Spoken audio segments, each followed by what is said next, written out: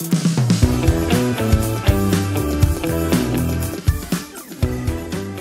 Bonjour à tous et bienvenue sur le plateau de Bonjour chez vous. Aujourd'hui, notre thème du jour est serviteur actif ou inactif?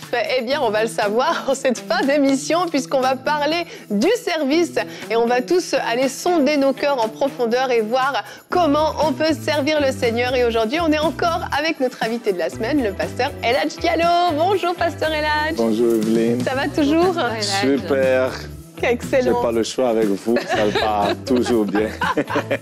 Nous, on a commencé l'émission avant même que les caméras soient allumées. On est à fond pour ce thème sur le service. On était en train d'en parler hors antenne et en fait, c'est extrêmement édifiant comme sujet. Donc, ne changez pas de chaîne, ne coupez pas la vidéo si le thème vous semble oh non, on va encore nous dire qu'il faut servir Dieu. Vous allez voir que c'est extrêmement édifiant, encourageant et gratifiant. Donc aujourd'hui, Pasteur Eladj, pour cette dernière émission avec nous cette semaine, euh, tu vas faire la pensée du jour, mais tu vas aussi répondre à une question de Carmen de Côte d'Ivoire. Tu y répondras tout à l'heure. Je n'ai plus de joie à servir dans mon église. Comment retrouver ma motivation? Donc tu pourras répondre à Carmen tout à l'heure. Mais pour l'instant, ah ben Nadine, c'est vrai, excuse-moi. Oh Nadine, Nadine. J'ai pas été là de la semaine, ça paraît. C'est ça. Nadine, de quoi tu nous parles dans la rubrique Culture et Médias Dans la rubrique Culture et Médias, aujourd'hui, je vais vous présenter Bibli, qui est une application numérique euh, de lecture qu'on va regarder tout à l'heure. Cool c'est bien, tu as toujours des petites trouvailles, toi. Ça, c'était euh, je sais pas, couteau suisse. Tu sais, tu as toujours des, choses là qui sortent. Travaille, travaille dessus. Tu travailler. Okay. trouve un autre nom. Ouais, plus cool. Laissez-moi en commentaire un nom plus cool pour moi. Je vais chercher. La semaine prochaine, je t'en sors un nouveau. Allez, Pasteur Elage, si tu es prêt, on va commencer tout de suite avec la pensée du jour. La gloire du service. J'aimerais commencer avec, bien sûr, un verset dans Ésaïe chapitre 42, le verset 1 à 4. Voici mon serviteur que je soutiendrai, mon élu, en qui mon âme prend plaisir. J'ai mis mon esprit sur lui. Il ne se découragera point et ne se lâchera point jusqu'à ce qu'il ait établi la justice. Bien sûr, ce verset parlait de Jésus-Christ. Et ça, c'est un autre verset qui m'a béni personnellement et qui m'a tenu dans le ministère du service, servir Dieu, servir son Église, servir sa famille, servir l'humanité. Mm. Alors, il y a un esprit qui est responsable pour l'avancement du royaume. Et c'est l'esprit du service. Je dirais de toutes mes rencontres, la plus grande, c'était ma rencontre avec Christ, bien sûr, la deuxième, c'est celle-là. C'est la rencontre que j'ai eue avec l'esprit du service. Quand j'ai donné ma vie à Jésus-Christ, bien sûr, d'un background d'une famille musulmane, je ne connaissais pas les Écritures, je ne comprenais pas grand-chose comment l'Église fonctionnait. Mais au moins, je savais que j'avais des mains et que je pouvais faire des choses qui n'ont rien à voir avec les doctrines ou de la théologie. Donc, euh, ma femme et moi, nous avons joint l'équipe de nettoyage. Mm de la toilette et du tapis également. Alors, c'est là que nous avons grandi. J'aimerais également vous donner euh, certaines statistiques en ce qui concerne le service dans nos églises et dans le royaume de Dieu. Elles sont alarmantes, mais on a beaucoup d'espoir parce que Dieu est toujours au contrôle. Aux États-Unis, 20% du peuple qui est dans une église servent seulement 20%. 20% vont donner la dîme, 20% vont faire le protocole, 20%. Les mêmes 20% qui font tout dans l'Église. Je dis que c'est alarmant parce que si 20% de ton corps fonctionne, toi et moi, nous serons aujourd'hui dans le coma. Vous comprenez ça? Si, 20% de ton corps fonctionne, tu es littéralement mort. Alors, comprenez, le corps de Christ est dysfonctionnel, si je peux utiliser le terme, et nous sommes comme sur le lit, prêts pour une réanimation. Et j'ai de l'espoir dans cette pensée du jour que l'Esprit Saint, même aujourd'hui, encore en train de recruter, de pouvoir communiquer sa pensée, de communiquer son désir aux hommes et aux femmes, à vous qui suivez aujourd'hui, pour vous motiver, et aussi vous mobiliser pour pouvoir créer une plus grande armée mhm. et un plus grand groupe de personnes, augmenter ces pourcentages à dépasser 75, pourquoi pas 100%. C'est ça qu'il veut pour toi et pour moi. Alors ça, c'est ma pensée aujourd'hui pour vous. Mm. La gloire du service. Amen, amen, la gloire du service. J'aime beaucoup ce titre parce que le service est rarement associé à la gloire. C'est plutôt, euh, on va associer ça à l'humilité, euh, au sacrifice, mais la gloire du service parce qu'il y a vraiment une gloire à servir Dieu. Et c'est tellement formateur le service. Et j'aimerais rebondir sur ces 20% dont tu parles parce que bon, ce sont les statistiques aux États-Unis, mais je pense que dans le milieu francophone, les chiffres doivent être euh, à peu près similaires. 20%, c'est tellement peu Peut-être moins. J'ai pas osé. Et c'est- c'est c'est le chiffre qui est bas, mais c'est le fait que ce soit ces mêmes 20% qui fassent tout. C'est ça le problème. C'est qu'en en fait, on est une équipe. On travaille dans la même équipe. Et une même tâche faite par une personne ou par dix personnes sera beaucoup moins lourde à porter. Si tous ensemble, oui, on va nettoyer le plancher de l'église, eh bien, on se met chacun à un bout, on fait chacun un petit bout, ça va être prêt très rapidement. Si une seule personne va nettoyer tout le plancher de l'église, ça va lui prendre des heures. Et c'est pareil pour tout euh, le département, même des enfants. Euh, combien de fois euh, les gens euh, sont fatigués au niveau du département des enfants parce que c'est demandant. Tu manques la prédication en plus quand tu fais l'école du dimanche. Alors les gens font ça pendant un mois, deux mois, un an, deux ans, puis après, ah non, c'est trop, c'est plus de mon âge, je laisse ma place.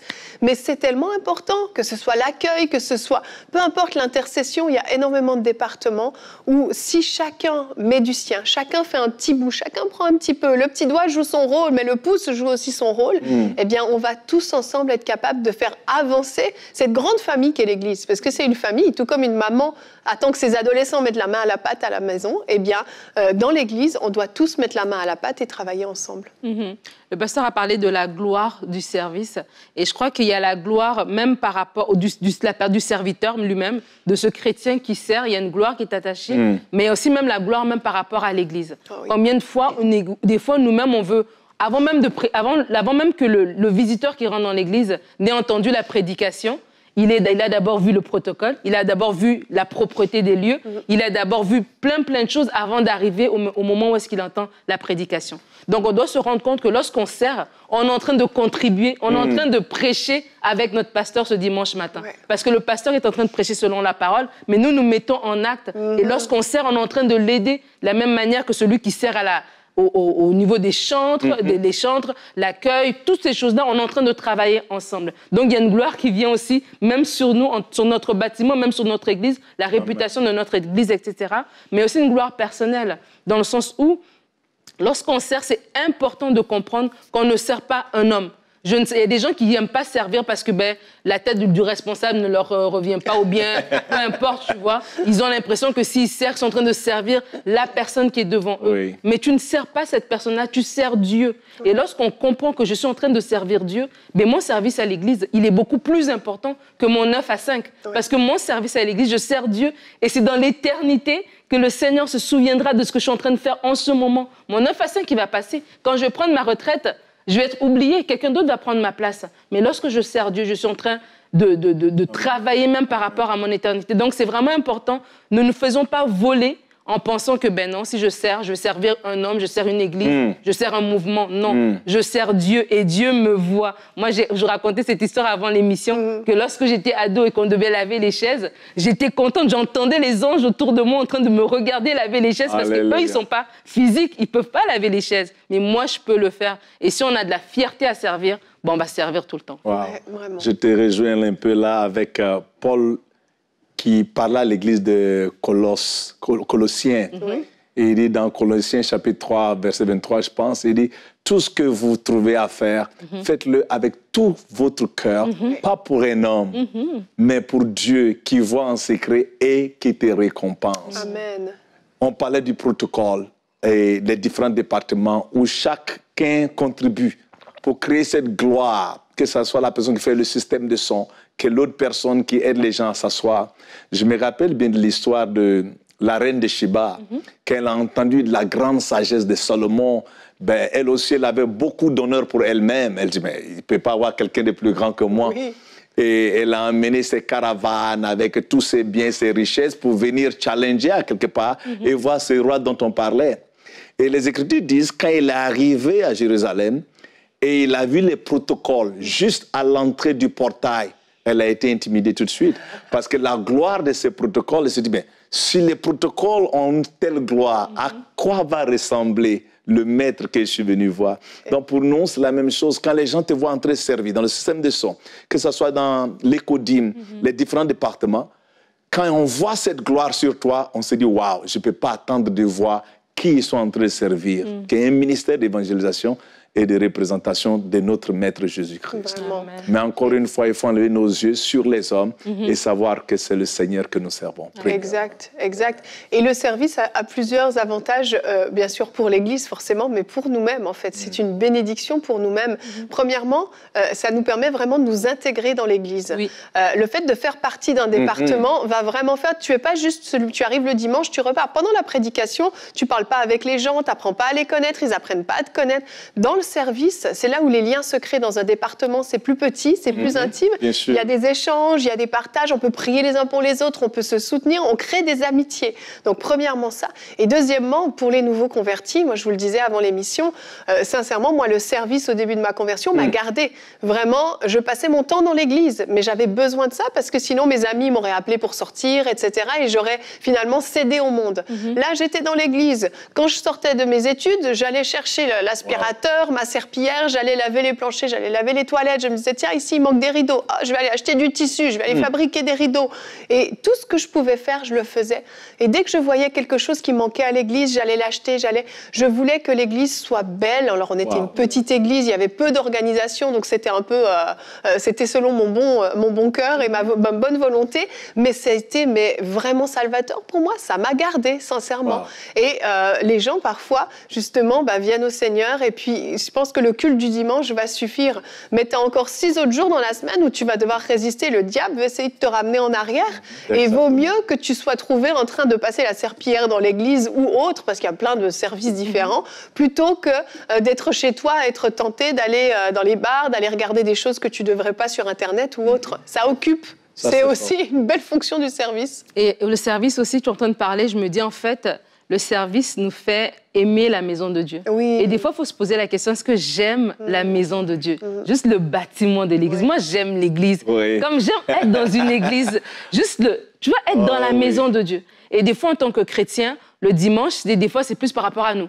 On vient le dimanche matin pour écouter une prédication qui va nous fortifier, qui va nous encourager, qui va ceci, qui va cela. Mais quand on vient servir, c'est pas par rapport à nous. Non. C'est par rapport à Dieu. Et là, on vient dans sa maison. Et juste ça, d'avoir le souci de dire, qu'est-ce qui manque ici? Il y a toujours quelque chose à faire dans une église. Que ce soit une petite église, comme ton église euh, quand tu étais plus jeune, ou une méga church, il y a toujours quelque chose à faire. On peut toujours aller plus loin. Il y a toujours un service. Et quand c'est même pas un service pratique, genre nettoyer les, planchers, mais un service pour euh, les veuves, un service pour les sans-abri, un mm. service pour les, prisonniers. Il y a toujours quelque chose à faire dans l'Église. Alors, c'est peut-être en tant que chrétien de se poser la question, Seigneur, amène-moi à aimer ta maison. Mm. Amène-moi à aimer ta maison comme si c'était la mienne. Et amène-moi vraiment à enlever les yeux de moi-même, toujours assez de recevoir, recevoir, recevoir, et que je puisse donner. Et là, nos yeux vont s'ouvrir. Et comme le pasteur l'avait dit dans sa pensée, on a deux mains on a un cerveau, on a une capacité quelque part qu'on peut... utiliser pour pouvoir servir. Je vais joindre un peu ta pensée. Je pense que c'est dans Luc chapitre 4, verset 39. Jésus-Christ qui visite euh, la, belle-mère de l'apôtre Pierre. Et elle, est malade, elle est criblée par un esprit. Mm. Pas juste une maladie normale, mais démoniaque, qui lui donne une fièvre terrible. Et Jésus vient, il chasse l'esprit de, de, la fièvre. Mhm. il, n'a pas dit sois guéri, il a chassé l'esprit de la fièvre, donc c'est démon.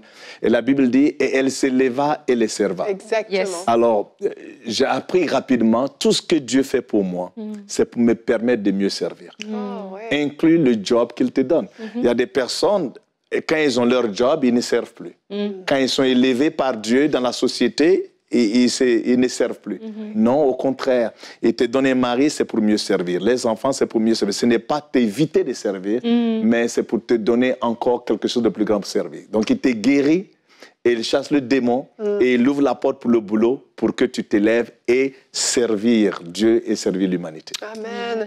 Et bien sûr, euh, le service ne se fait pas que dans l'Église, forcément. Là, on parle spécifiquement de l'Église locale parce que ça nous semblait un point très important.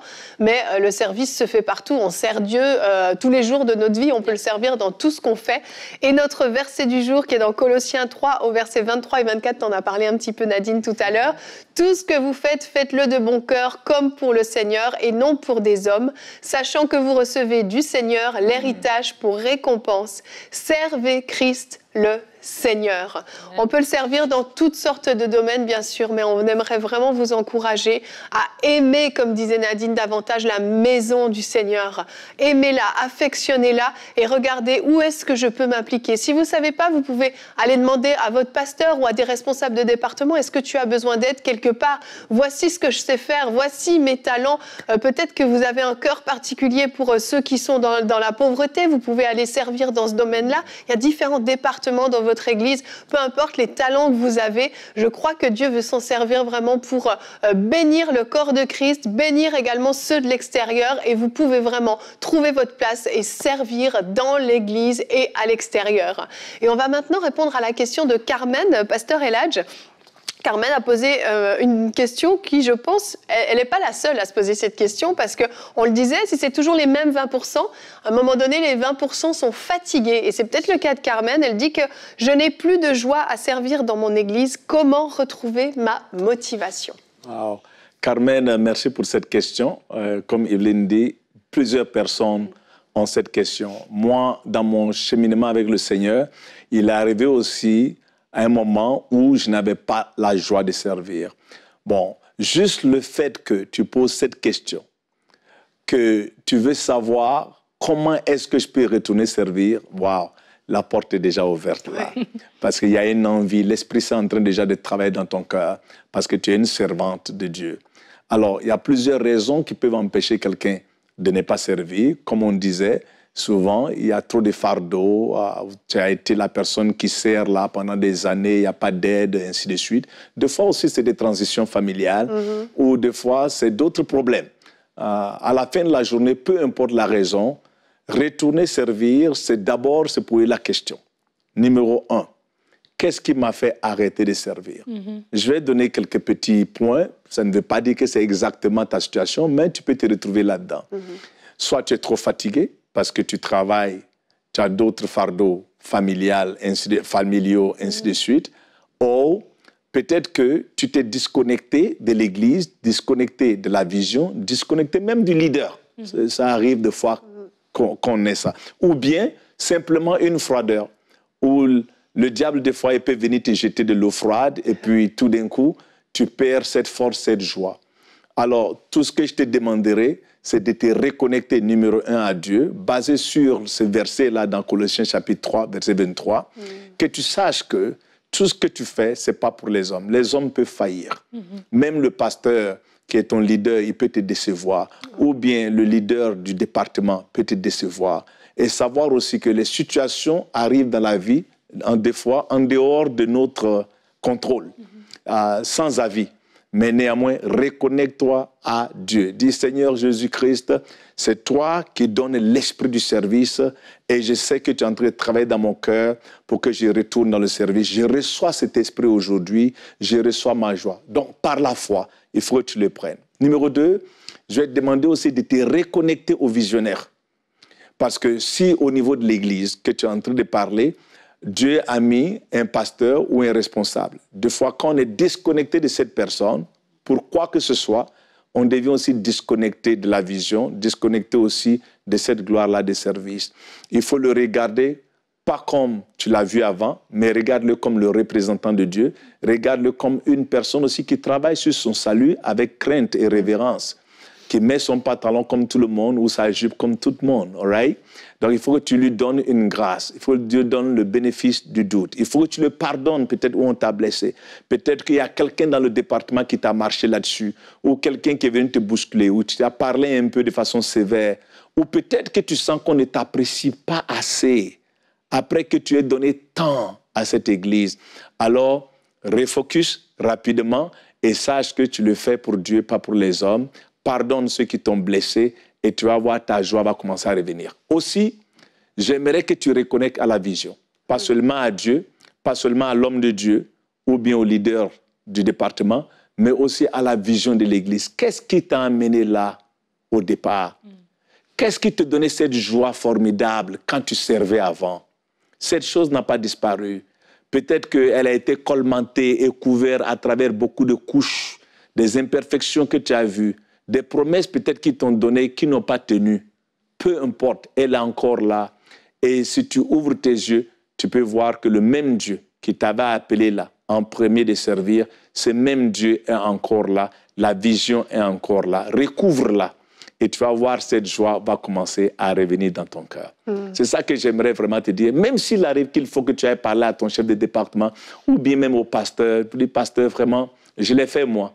À un moment, j'étais fâché contre le pasteur et peu importe ce qui s'est passé à l'église, je n'entendais plus rien. Alors un jour, la lumière a brillé sur moi, comme elle est train briller sur toi. Elle dit, mais écoute, c'est un homme comme moi. Je dis, pasteur, vraiment, je vais resservir et je veux que tu saches que j'étais un peu disconnecté. Prie pour moi, c'est ma maison, c'est la vision que Dieu nous a donnée. Donc ce serait ça vraiment mon conseil, ce serait ça que je te donnerais comme réponse, Carmen. Merci, Pasteur Eladj. Merci pour cette excellente réponse. Ah, c'est tellement important d'identifier la cause pour laquelle on a perdu notre joie. Il y a forcément un élément déclencheur et une fois qu'on l'a identifié, effectivement, on peut traiter. Très, très bonne réponse. Merci, beaucoup. Si vous avez des questions, écrivez-nous comme toujours. Vous connaissez l'adresse pasteur j'ai une question emcitv.com. On y répondra peut-être dans une prochaine émission. On enchaîne avec toi, Nadine, dans la rubrique Culture et Médias. Alors aujourd'hui dans la rubrique Culture et Médias, je vous présente Bibli, qui est une application de lecture numérique chrétienne en illimité. C'est tout nouveau, ça vient de sortir il n'y a pas très longtemps, alors vous connaissez peut-être pas cette application. Je vous laisse la découvrir avec notre vidéo de présentation. Bibli est le premier service de lecture numérique chrétienne en illimité. Retrouvez dès maintenant la parole de Dieu, accessible partout et pour tous. Bibli vous propose de lire autrement et lire plus avec un accès sans contrainte n'importe où, n'importe quand. Accédez à une multitude d'idées de lecture en un clic. Romans, histoires, témoignages, études bibliques, méditation, développement personnel, il y en a pour tous les goûts. À lire et à relire autant de fois que vous le souhaitez. Bibli, c'est aussi pour les enfants, grâce à une bibliothèque qui leur est destinée. Bible, magazines, bandes dessinées, des pépites à découvrir et qui les feront grandir dans leur foi. Avec Bibli, découvrez chaque jour de nouveaux ouvrages que nous sélectionnons spécialement pour vous en fonction de vos goûts de lecture. Sélectionnez, surlignez, copiez des passages ou même prenez des notes pour les emporter partout avec vous. Pour votre confort, Bibli offre la possibilité de modifier la police ou la luminosité de l'écran, que vous choisissiez de lire de jour comme de nuit. Grâce à la lecture hors connexion, que vous soyez dans un avion ou au bout du monde, vous pouvez voyager et vous déplacer sans perdre le fil de votre lecture. Découvrez, lisez à volonté et partagez vos lectures favorites avec Bibli, votre application de lecture numérique chrétienne en illimité.